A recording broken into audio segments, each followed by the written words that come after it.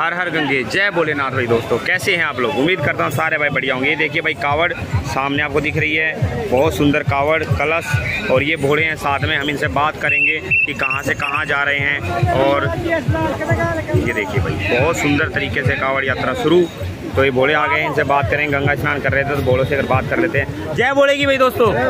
कहाँ जाओगे बोलो रेवाड़ी। रेवाड़ी। भाई रेवाड़ी जाएँगे बोले कितने बोले हो? बोले सात। सात बोले मतलब भाई किच्चम की जाना है।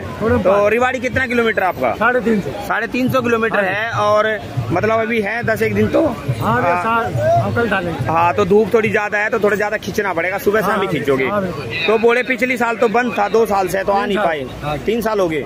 तो पहले कितनी बार ले गए हो आप? चार। चार बार ले गए हो? तो अब जो दो साल तक रुके हुए थे घर में कैसा लगा? यहाँ बड़ा मज़ा आ रहा है। है? यहाँ बड़े मज़ा यहाँ मज़ा आ रहा है? घर में दो साल तक कैसा लगा? ऐसे बैठे कैद हो रही थी। हाँ जी। तो भाई दो साल से घर के अंदर थे तो, तो बोर से हो रहे थे। सच है और ये हकीकत है बोले की नगरी में साल में एक बार आते हैं तो दिल खुल जाता है काम बन जाते हैं। और भाई जो चाहिए सब कुछ मिल जाता है। क्यों बोले? सही बात है? तो भाई सच्चाई है ये। भोले बाबा सबको अपने दर पे ज़रूर बुलाए एक बार और यात्रा को संपन्न करे।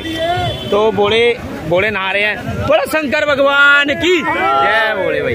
तो भाई अभी स्नान हो रहा है कावड़ यात्रा की तैयारी है। सुबह उठाओगे कावड़ बोलो? हाँ भाई बोले सुबह कावड़ उठाएँगे और बहुत सुंदर तरीके से कावड़ चलने वाली है। तो भाई भोले बाबा आप लोगों की यात्रा को सफल बनाए मंगल में बनाए और भोले बाबा आप लोगों की हर मनोकामना को पूरी करे। बोलो शंकर भगवान की तो भाई चलिए।